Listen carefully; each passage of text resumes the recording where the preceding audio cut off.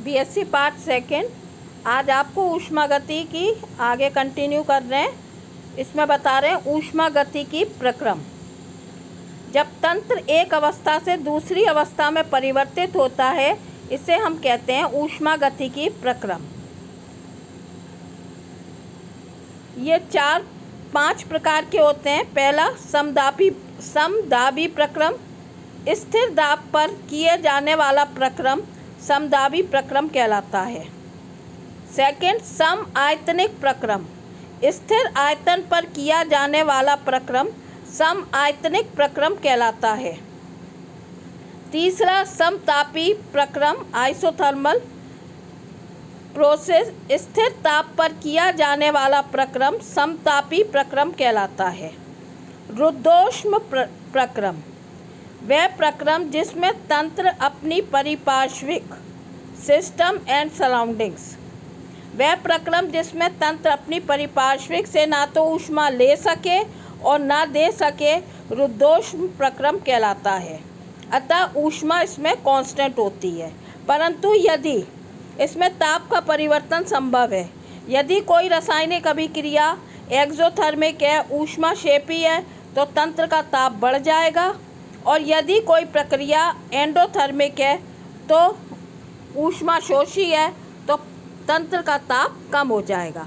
परंतु ऊष्मा का तंत्र और अपने परिपार्श्विक से कोई भी विनिमय नहीं होता, उन्हें कहते हैं हम रुद्धोष प्रक्रम। पांचवा इसमें चक्रीय प्रक्रम। यदि कोई तंत्र परिवर्तनों की श्रेणियों में से गुजरता हुआ वापस अपनी प्रारंभिक मूल अवस्था में आ जाए तो वह प्रक्रम चक्रीय प्रक्रम कहलाता है। अब आपको बता रहे हैं ऊष्मा गतिकी का प्रथम नियम। ऊष्मा गति का गतिकी का प्रथम नियम। ऊष्मा गतिकी का प्रथम नियम ऊर्जा संरक्षण के नियम का कथन मात्र है।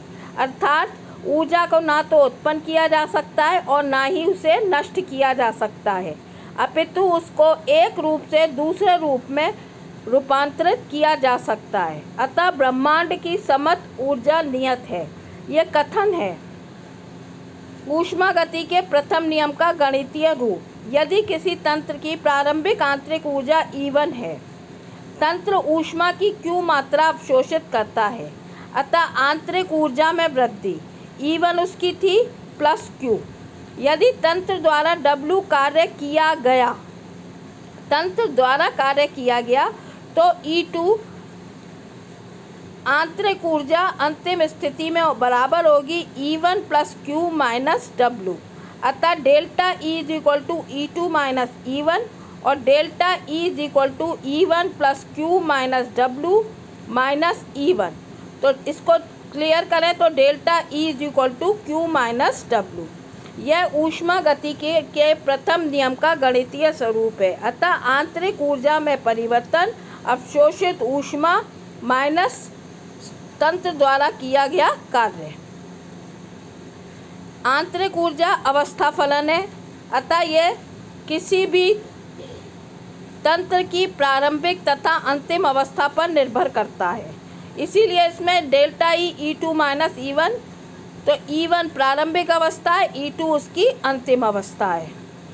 परंतु क्यू तथा डब्लू अवस्था फलन नहीं है ये प्रक्रम के पथ पर निर्भर करते हैं। अब आपको बता रहे कार्य। ऊष्मा गतिकी में तंत्र हमेशा ही किसी बाह्य बल के विपरीत कार्य करता है। कार्य दो गुणांकों, तीव्रता गुणांक तथा धारिता गुणांक के गुणनफल के बराबर होता है। तीव्रता गुणांक किसे कहते हैं? परिवर्तन के विरुद्ध प्रतिरोध का माप तीव्रता गुणांक कहलाता है। और धारिता गुणांक किसे कहते हैं? प्रतिरोध या बल को पराजित करने की सीमा। इसको हम धारिता गुणांक कहते हैं। जैसे यांत्रिक कार्य तो यांत्रिक कार्य होता है बल इंटू दूरी। तो बल जो है, वो तो तीव्रता गुणांक है और दूरी जो है, वो है धारिता गुणांक। बल को हम न्यूटन में नापते हैं और दूरी को हम मीटर में ना, नापते हैं तो यांत्रिक कार्य की यूनिट होती है न्यूटन इंटू मीटर। वैद्युत कार्य तो वैद्युत कार्य विभांतर इंटू आवेश।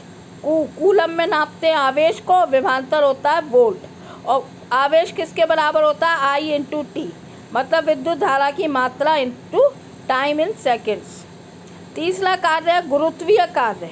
तो गुरुत्वीय कार्य होता है गुरुत्व बल, जो कि kilogram into metre second minus one होता है, और ऊंचाई हाइट एम जो मीटर में नापते हैं।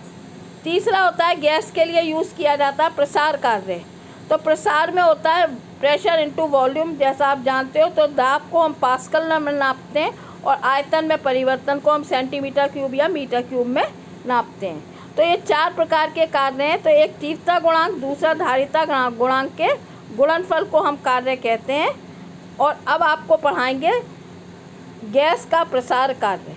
Thank you